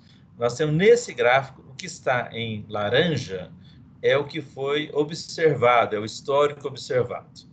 O que está em tracejado vermelho, ponto azul, é o simulado. Então, vocês veem que a simulação acompanhou de forma bastante razoável o comportamento do reservatório até 2011. A partir de 2011, como começamos a entrar num período de crise, as curvas se distanciaram. E se distanciaram praticamente porque nós não tínhamos nenhum mecanismo de discussão dessa restrição. Ou seja, a Compesa né, teve que fazer uso dessas águas e não tinha nenhum mecanismo que é, não deixasse ela fazer uso disso, o que se é, mostraria diferente se nós já tivéssemos essas regras. Então, se nós tivéssemos essas regras, a partir aqui de 2014, nós teríamos duas situações. Uma situação da Compesa continuar fazendo a utilização da água sem nenhuma restrição, o que também provocaria um colapso aqui em 2017. 2018, tá? mas não em 2016. Por outro lado, se houvesse a alocação de água e a restrição, nós poderíamos passar aqui com vazões, Heitor, nessa ordem que você citou, em torno de 700 litros por segundo, em vez de utilizar lá os 1.208, mas nós não chegaríamos à cota mínima. Então, esse mecanismo, na prática, ele estaria representado nesse gráfico. Ou seja, se nós já tivéssemos ele, nós não, provavelmente não teríamos o colapso que nós tivemos e conseguiríamos passar aqui sem o esvaziamento total, é, desde que houvesse uma restrição, é, uma redução progressiva da água pela Compesa. Bom, qual que é o segundo é, ganho com relação à qualidade da água? Obviamente, a partir do momento que a gente saiu da cota 252 para a cota 27158, né, nós estamos trabalhando para que a gente não tenha que captar água abaixo desse ponto. Isso, com certeza, vai favorecer a qualidade da água ser captada por todos os usuários. Né? O terceiro ponto é com relação à mitigação a inundações. Né? Com relação à mitigação a inundações, nós temos claro aqui que sem ah, o desenvolvimento de novos estudos, inclusive incorporando é, o efeito desse reservatório a, aos procedimentos operacionais lá de Carpina, Goitá e Itapacurá, é, nós temos aí poucas condições de, é, hoje, inserir restrições aqui ao açude. Então, o que, que nós propusemos que está explicitado nesse artigo? Que caso sejam desenvolvidos estudos sobre controle de inundações na bacia, as condições de operação dessa resolução podem ser alteradas. Né? É, obrigatoriamente, os órgãos estaduais competentes devem participar da avaliação dos cenários e alternativas, ou seja, essa resolução ela está com a ANA e com a PAC, mas ela traz também para os demais órgãos a, digamos, a, a, o direito de participação né, da avaliação dos cenários alternativos, uma vez que a gente sabe que, dependendo do estudo, isso pode impactar um trecho maior do rio. Né? E enquanto esses estudos não forem realizados, cabe ao operador do reservatório, no caso aqui o DENOX, o manejo das vazões defluídas visando eventual mitigação de danos.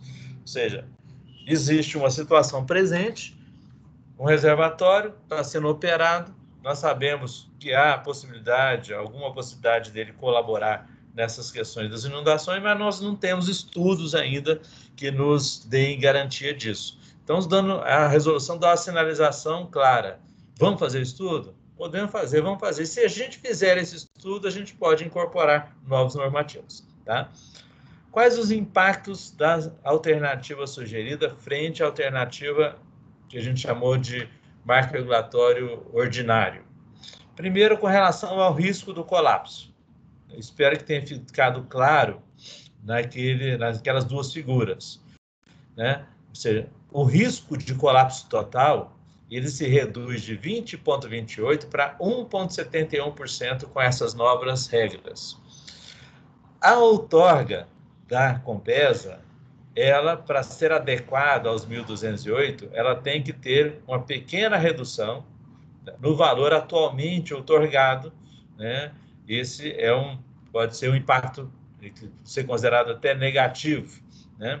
Mas é algo que foi discutido com o pessoal da Compesa e a primeira manifestação é de que nós estaríamos é, aliás, a partir do momento que a gente está aumentando a garantia, é interessante que isso aconteça. Com relação à garantia aos usos múltiplos, né, nós temos, então, a definição de uma vazão objetiva que faz com que o usuário comum não tenha dúvida de qual que é a vazão a ser otorgada. Ou seja, nós não estamos aqui mais remetendo a cálculos de vazões é, regularizadas por, de, para diferentes garantias. Então, há uma explicitação de que a vazão média anual ela será de 1.408, algo que não havia de forma tão explícita assim anteriormente. O valor mínimo operacional, ele passando de 7 milhões para 48 milhões, ele cria uma reserva estratégica sete vezes maior para enfrentamento, ou seja, nós estamos trabalhando para não abaixar disso. Mas se houver a necessidade, temos uma reserva estratégica que pode ainda dar um, uma, um respiro àqueles usos até que é, novas chuvas venham ou novos mananciais sejam incorporados para atender aos usos. O aumento da área da superfície do mínimo de 3,74 é um aumento de área também, o que permite que a gente tenha aí uma maior água, maior quantidade de água para é, a implantação de instalações flutuantes, e aí eu, eu destacaria aqui os tanques rede, né, uma vez que é fundamental que a gente tenha um volume maior para poder diluir melhor essa quantidade de tanques e, consequentemente, fazer com que a qualidade da água captada superficialmente seja melhor. Né? Por outro lado, nós temos uma série de usuários no entorno que nós precisamos regularizar e, para isso, nós estabelecemos uma vazão, isso aqui é importante deixar claro para o pessoal da PAC, é para usos captando no reservatório, consequentemente, outorgas da ANA. Né? Então, nós estamos alterando a vazão que independe de outorga para 2,5 litros por segundo, de forma a proporcionar a regularização desses usos, né? o que, a nosso ver, garantiria a regularização de 64% das propriedades é, do entorno que têm um uso pequeno, mas que poderiam, a partir desse marco, então, estar ok com a regra, sem nenhum processo de de uso clandestino, alguma coisa assim, né? E com relação ao aspecto qualitativo, né? Com relação ao aspecto qualitativo, nós temos aqui, é, a Compesa já vem acompanhando isso, é uma questão que eu acho que é muito importante e vem da política de saneamento básico, que é como, de, como e quando e quem declara a situação de escassez hídrica. Ou seja, essa é uma, é uma, é uma declaração normalmente muito é, difícil de ser tomada, principalmente pelo gestor político, e esse marco regulatório estabelece já tecnicamente a que, a partir do estado hidrológico vermelho, fica declarada a situação de escassez hídrica, o que faz com que, no saneamento em especial, você tenha a desoneração da tomada de decisão e também a possibilidade da implantação de tarifas de contingência ou de é, uma remuneração diferenciada para enfrentamento dessas crises hídricas. Tá? Então, essa é um ganho qualitativo. A exigência de planos de contingência também vem nessa mesma linha, que ela aumenta a resiliência desses sistemas, fazendo com que eles saibam exatamente quanto tirar de água desse manancial. Os usos múltiplos e a geração hidrelétrica passam, os usos múltiplos passam a contar com os estados hidrológicos, o que permite um planejamento de 18 meses de antecedência, que é para os, é o tempo pelo qual foi calculado aquele estado hidrológico.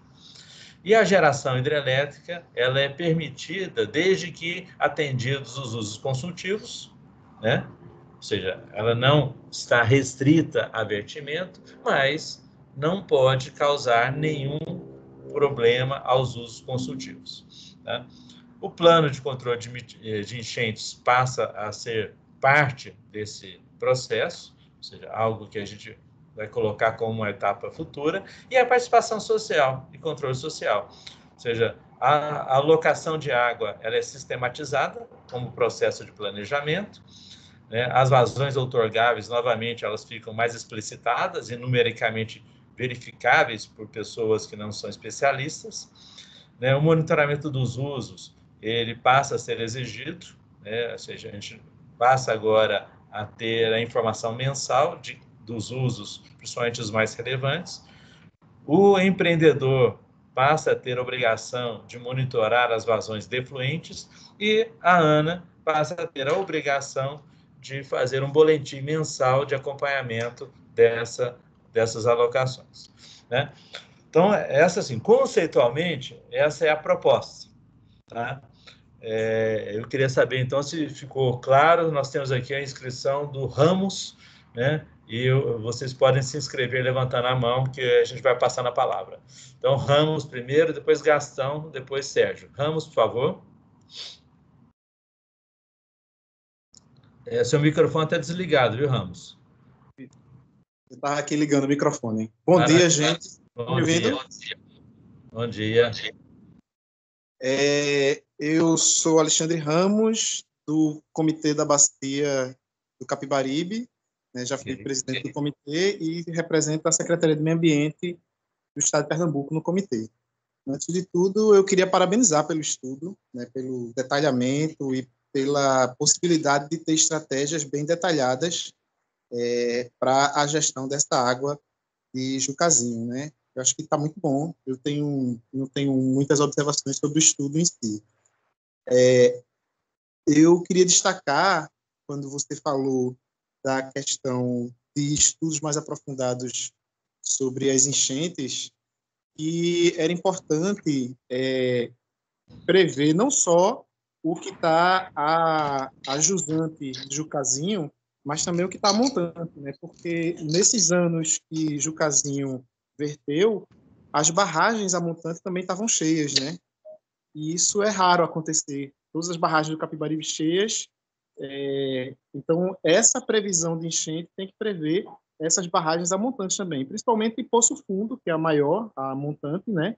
E, e é, raramente enche. Esse ano ela verteu, né? E isso precisa ser previsto na hora que for pensar em estudo mais aprofundado das enchentes.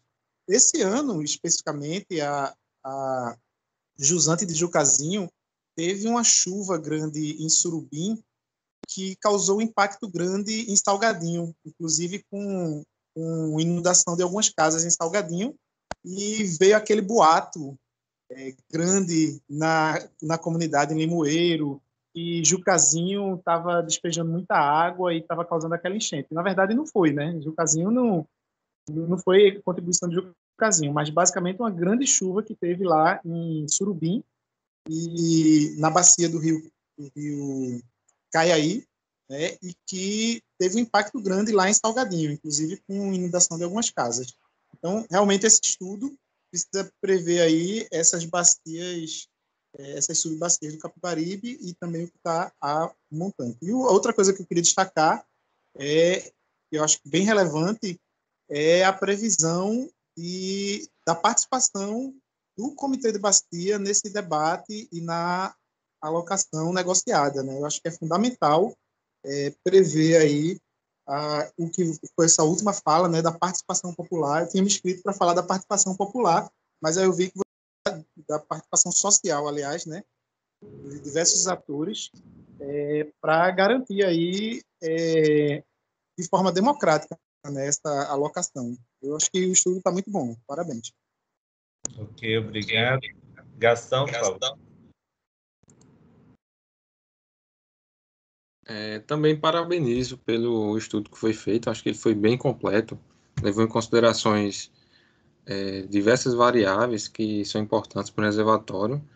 É, eu fiquei só com um, uma dúvida em relação ao que foi colocado como vazão média para usos de jusante, que foi colocado como 100 litros por segundo. Aí eu achei, fiquei me perguntando se seria suficiente, né, considerando as perdas ali no, no rio é, considerando também é, as, as vazões otorgadas ali naquela região, pensando se atenderia ou se atenderia só um trecho e não seria suficiente para, de fato, os usos necessários ali para o Rio Capibaribe. É, me perguntei também se há uma variação nessa, nesses usos para o período de chuvas, se eles deixariam de ser necessários durante o período de chuvas, é, e se considera os possíveis conflitos futuros, já que se teriam escassez ali, eu imagino, com apenas 100 litros por segundo. Ok, vou passar para o Sérgio, depois a gente fala de uma vez. Sérgio. Sérgio, tá, da Compesa? Tá, acho que deu uma travada aí no Sérgio. Sérgio? Bom, enquanto o Sérgio Destrava, vou ver essas duas questões do Ramos e do Gastão. É, com relação ao Ramos, é, eu acho que aquela previsão, Ramos, do artigo 6 que eu destaquei, ela dá a oportunidade boa a todos os órgãos competentes aí de Pernambuco a fazerem a abordagem mais adequada a esses planos, seja a jusante, seja a montante, né? Então, ela não, não está ali, diríamos, explicitado que são estudos somente para jusante, né? mas é para mitigação de uso a jusante.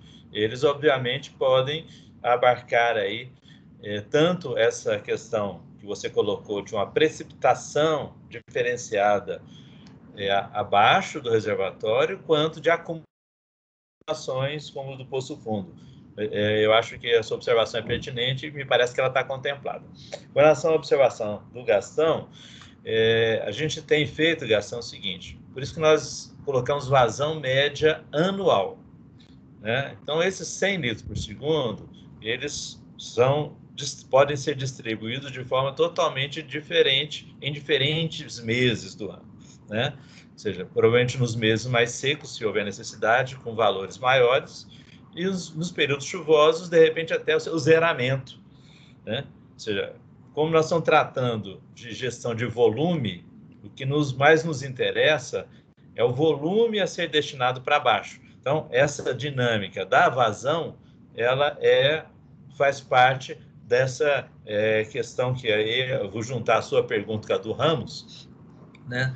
dessa discussão que eu acho que o comitê é fundamental para poder fazer com que conflitos sejam minimizados de forma a fazer a defluência mais adequada para aqueles usos que efetivamente existem. O que nós temos observado naquela região, que é uma região com afloramento de rocha e será é, é uma super, é uma região super complexa do ponto de vista hidrológico, né, que essas vazões oriundas do Jucazinho parecem não ser tão relevantes assim. Mas existe ali essa previsão e essa, diríamos, destinação desse valor mês a mês vai, diríamos, permitir a participação dos usuários a jusante, né, nessa discussão, e a adequação ao período do ano que eu acho que é o mais importante. Né? Ou seja, dar água para, quando, para o período em que há necessidade e quando não houver necessidade, fecha tudo, se for o caso. Né? É, Sérgio, por favor. Você tinha travado aí, Sérgio, seu microfone. Foi. É, a internet aqui deu uma quedinha, mas voltou uhum. agora. É, também dois pontos que eu queria é, observar.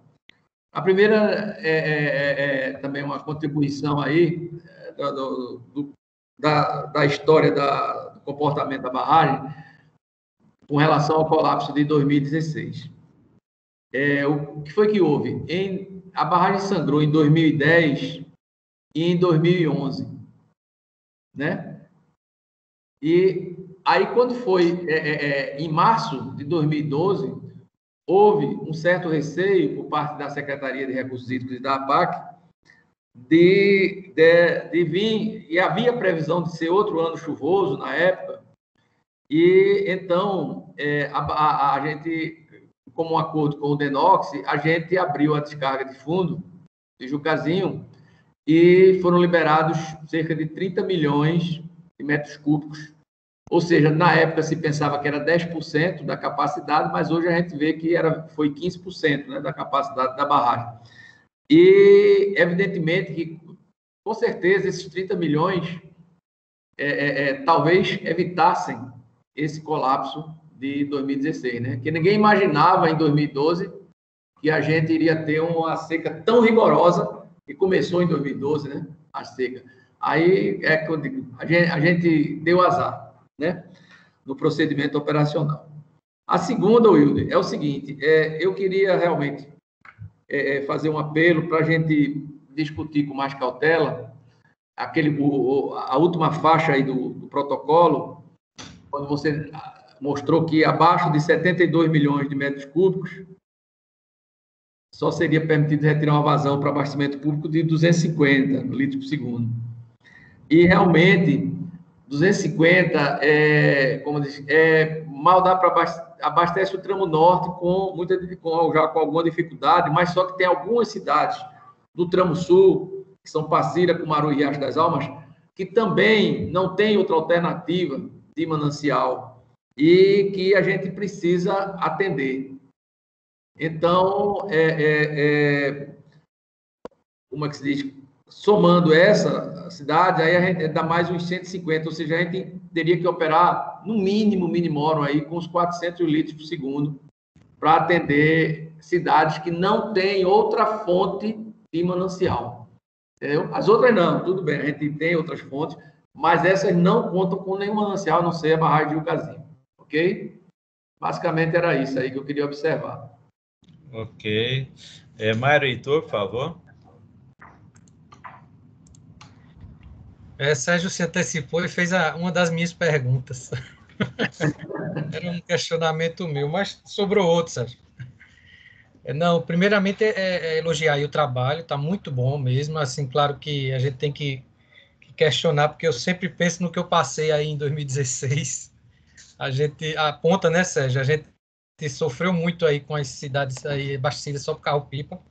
Então é algo que preocupa a gente, não tem como a gente fugir disso, me desculpem, mas a gente se preocupa mesmo com isso aí, com relação a essa vazão mínima aí. Eu também fiquei um pouco na dúvida com relação à situação de escassez hídrica, aquele volume mínimo, como seria essa, essa negociação do uso desse volume mínimo?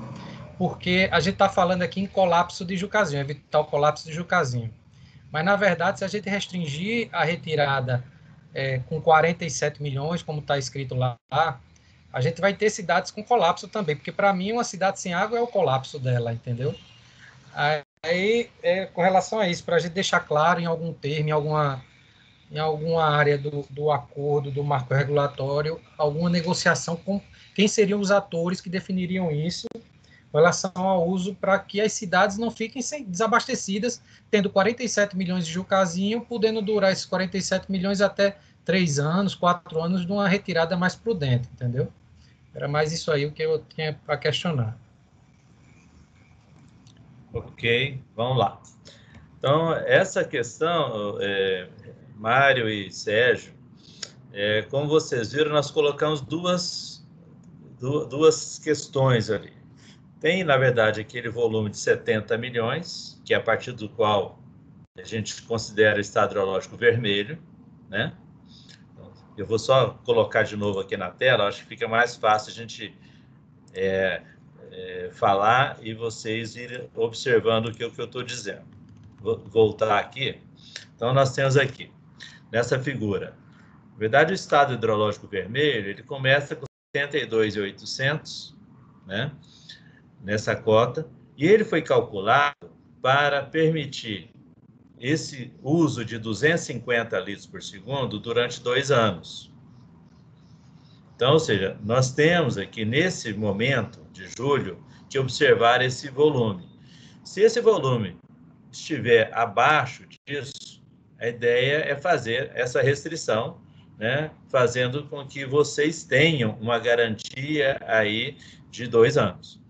Mas vocês podem fazer uma seguinte opção, né? ou seja, o risco é do usuário, o risco não é do sistema. Então, vocês têm duas opções. A primeira opção é vocês chegarem aqui nesse momento e falar assim, não, eu quero utilizar esse, uma vazão de 400 litros por segundo, né, arriscando que eu vou ter aí uma recarga. Pode acontecer isso. A segunda é a seguinte, eu, eu, vou, não, eu quero usar 400, já não quero arriscar a recarga não, mas eu quero já antecipar, já que eu estou falando aqui em duas alocações, eu quero antecipar o segundo período de alocação. Tá? Isso significa que se as coisas, se a chuva não vier, né, nós teremos no ano seguinte uma situação pior do que a situação presente. Consequentemente, vocês vão ter uma restrição maior no ano seguinte. Por outro lado, né, vocês é, vão ter um prazo de um ano para se prepararem para eventuais mananciais alternativos. Então, a vantagem desse processo aqui, Heitor e Sérgio, é de que nós estamos, primeiro, pensando sempre em dois períodos de escassez, de estiagem, né? Tá? Mas isso não quer dizer que a gente vai automatizar esse processo, porque do, da cota 285 para baixo, isso vai depender dessa explicitação em reunião pública para alocação de água. Então, nós não temos aqui que ter o receio, diríamos, de que nós estaríamos aqui com uma. Alô? Estão me ouvindo? Opa, ok. Pensei que eu tinha caído. Tá? Então, aqui, a, a, o processo de alocação de água, que é o instrumento regulatório complementar, viu, Heitor? É que dá essa flexibilidade a essa alocação. Tá? Então, nós temos uma regra geral que estabelece, olha, chegou em 72 milhões, opa, estamos na iminência de correr um risco. Né? Ok? Então, estamos na iminência de correr o risco. Nós temos, então, 18 meses para nos planejar. Nesse momento, eu vou sentar, vou discutir e vou fazer as minhas apostas. Né? Baseado na previsão de chuva, baseado nisso, naquilo, baseado no na meu potencial de construção de manancial alternativo e tal, né? E eu vou fazer minhas apostas e vou, nesse caso aí, que eu não vejo tão grande diferença, poder atender ou 250 ou 400. Você sabe que a gente atende essas populações com duas políticas: a política de gestão da oferta e gestão da demanda. Né? Então, a, a, gestão da oferta nós fazemos aqui, a gestão da demanda vocês fazem lá, na ponta, certo? Então, essas, é, essa oportunidade existe. Eu não, toda vez que a gente mexe nesse número, a gente acaba tendo que aumentar essa cota mínima, sabe, Heitor? Se eu jogar ali 400 é, litros em vez de 250, o estado hidrológico vermelho vai ter que passar para 75 milhões, entendeu? Então, ou seja, a gente está num valor que, ele, olha, eu, sinceramente, ele foi super pensado, super trabalhado para estar chegando nesse ponto aí, tá? É, lógico que isso aqui não é uma reunião, não está nada publicado, está nada definido. Mas eu só queria fazer esse esclarecimento para vocês. O marco regulatório é marco regulatório. A tomada de decisão sobre a alocação de água é um outro instrumento que vai operacionalizar o marco regulatório. E esse instrumento, ele, os colegas da APAC conhecem bem, vocês da Compesa também, em outros mananciais, ele é um instrumento de programação anual e que permite que a gente vá fazendo essas apostas, ok? Tá? Sempre é, é, é uma aposta planejada, né? Não é uma aposta de cima da, da E além de tudo, ainda nós temos, como você falou, os 47 milhões. Se, se chegar lá no, no fim do poço, você é meu caro, eu vou ter que pegar essa água aí. Entendeu? Seja, nós temos uma reserva estratégica que está tá colocada. Seja, você, a, a, a, ponto de vista de garantia, nós jogamos a garantia de vocês lá para cima. Entendeu? Lá para cima. Só que é tudo, diríamos, planejado justamente para evitar que você comece a interferir em outros usos, vai dar conflito aqui, conflito ali, você vai ter problema de piora de qualidade de água. Entendeu? Então, como o Sérgio falou, né? 30 milhões fizeram uma diferença danada. Entendeu? fez uma diferença lá. Ou seja, se a gente tem aí condições de, de parar um dia para discutir isso, nem um dia, duas horas para discutir isso, a gente já. Né? Então, é, é, assim, é, é, não, mais uma vez, não estamos fechados a nada. Estamos aqui colocando a proposta e a gente vai discutir com vocês, tentar explicar e vocês depois podem contribuir, inclusive por escrito, ok? Mais alguém?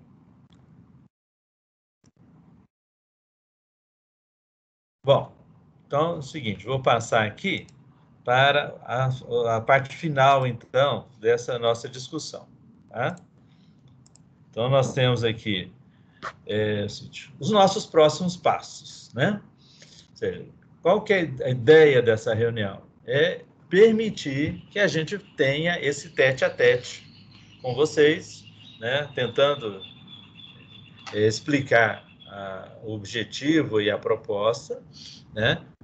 E também receber contribuições, ou seja, essas contribuições que foram colocadas aqui já são parte do nosso registro, porque essa reunião está sendo gravada, mas até dia 15 de outubro, tá, vocês ainda podem é, se manifestar por escrito, né, tanto com relação a dúvidas técnicas, quanto com relação a propostas, a contribuições ao texto da resolução. Tá? Então, nós temos aqui, hoje, no dia primeiro, né, nós temos basicamente 15 dias né, para receber essas contribuições. Depois que a gente receber essas contribuições, nós vamos fazer uma nota técnica de avaliação das contribuições, é, ou acatando ou não acatando. Se a gente acatar, a gente vai justificar por quê. Se a gente não acatar, a gente vai justificar por quê. E a gente vai, então, fazer esse relatório de avaliação das contribuições, propor ajustes ou não à proposta, encaminhar para a APAC e para a diretoria da ANA, e a partir da aprovação conjunta da APAC e da colegiada da ANA, a gente faz, então, a publicação do novo normativo. Qual que é o calendário que se espera para isso? Após 15 de outubro, provavelmente nós vamos ter aí mais uns 15 dias para fazer esse relatório, né, que seria 31 de outubro, mais ou menos. Ou seja, a ideia é que a partir de até o final de novembro a gente tenha esse marco é, publicado. Tá?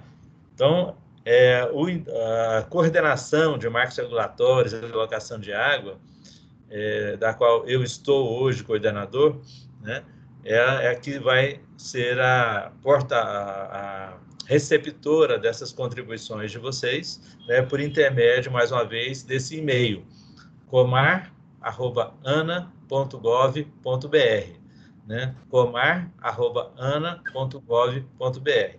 Tá? Então, nós estamos abertos, se vocês tiverem mais alguma dúvida com relação à minuta, nós podemos também é, abrir a minuta aqui para discutir. Aí fica a critério de vocês. A palavra está aberta. Quem gostaria de fazer uso?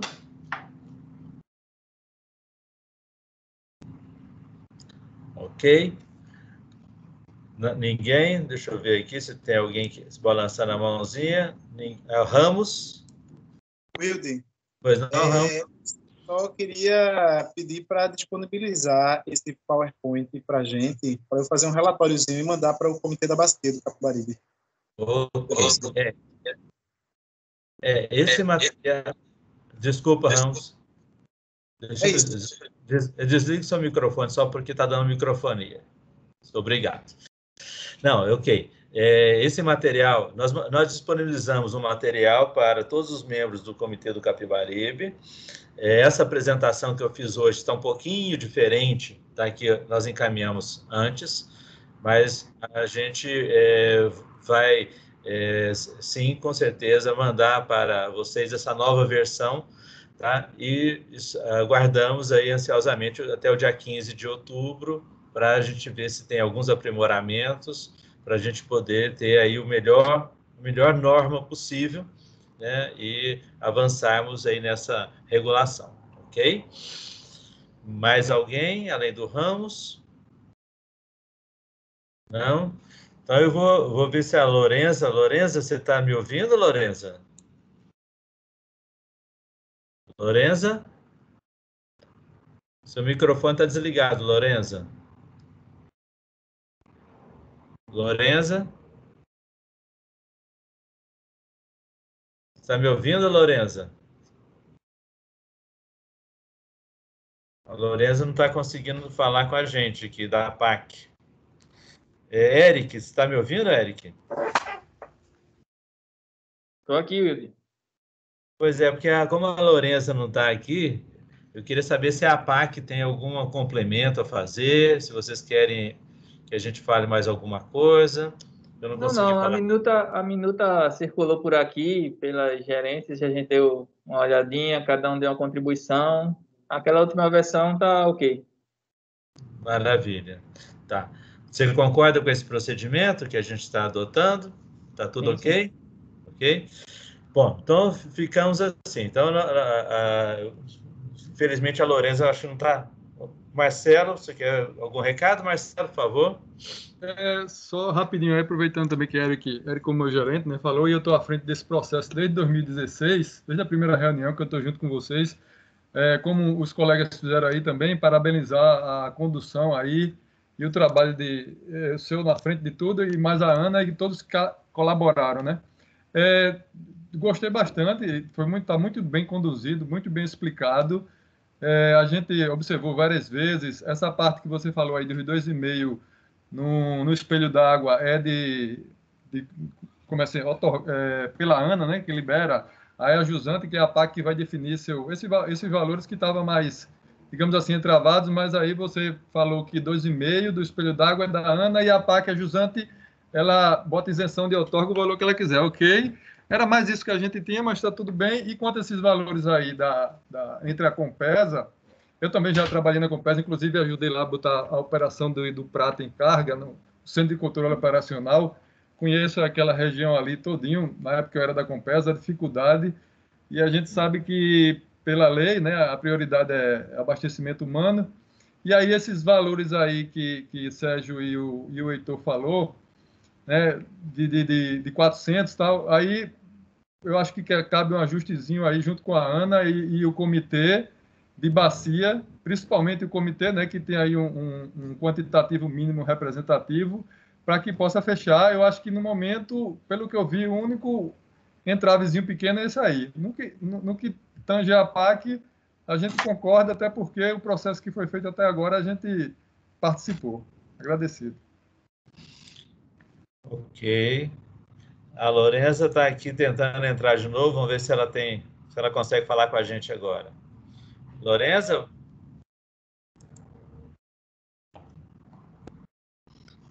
Lorenza? Oi, Lorenza. O microfone está desligado, Lorenza.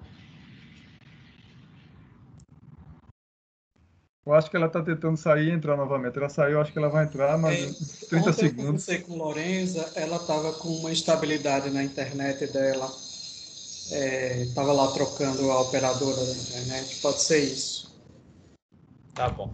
Bom, é, eu acho que era isso, né? Eu acho que a gente teve uma reunião boa aí, eu acho que vocês participaram e vamos então é, partir então para encerramento e agora a gente tem esses 15 dias para poder fazer os refinamentos que forem necessários, ok? Né? Podemos encerrar? Ok. Ok. Quem é... Obrigado aí. Até uma próxima. Vou encerrar aqui a, a gravação.